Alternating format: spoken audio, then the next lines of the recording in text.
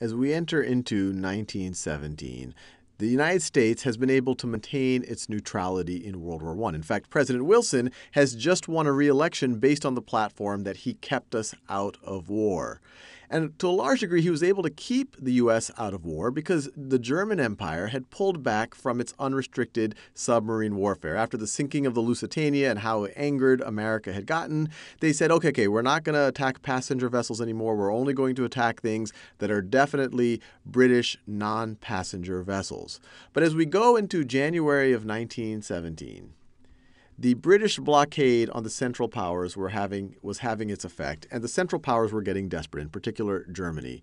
And so they were eager to essentially uh, do the same to the British. Once again, go with the unrestricted submarine warfare.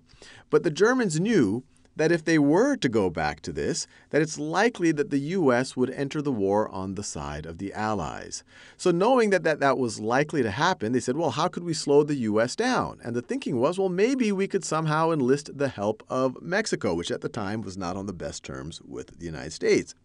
And so Arthur Zimmermann, Arthur Zimmermann, who was the German foreign secretary, the equivalent of the United States Secretary of State, the foreign minister, Arthur Zimmermann sends an encoded telegram to the Mexicans. And it's encoded especially because it has to go over lines that are controlled by the Americans. And in it, he, he actually proposes an alliance to slow the Americans down. So this is what he wrote. So this is the encoded telegram, and then it was actually intercepted by British intelligence and decoded and then shared with the Americans, and then that was also then made public to, to the American public. And so this is what it's fascinating to actually read this stuff. This is January 1917. This is the Germans talking to the Mexicans. We intend to begin on the 1st of February unrestricted submarine warfare. We shall endeavor, in spite of this, to keep the United States of America neutral.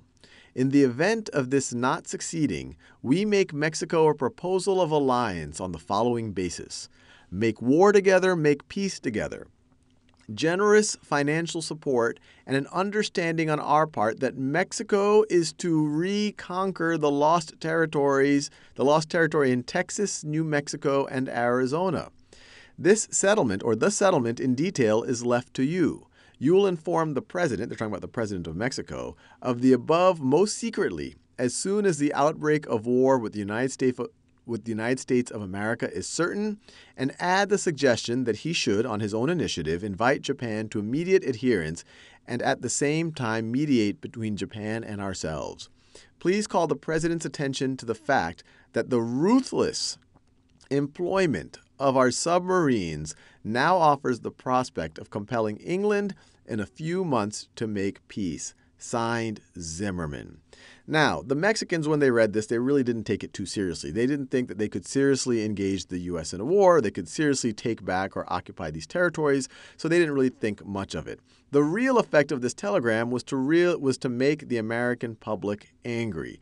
They were going to go back into the unrestricted submarine warfare, and the Germans themselves talk about ruthless, ruthless employment of our submarines. So when people talk about what were the causes, what brought the U.S. into war, the ones that are typically cited are the unrestricted submarine warfare, the sinking of the Lusitania, the Zimmermann telegram that was trying to get Mexico to somehow get into a war with the U.S. and reclaim these territories. And as we'll see, a few months after this, the U.S. actually does declare war on Germany and enter into World War I.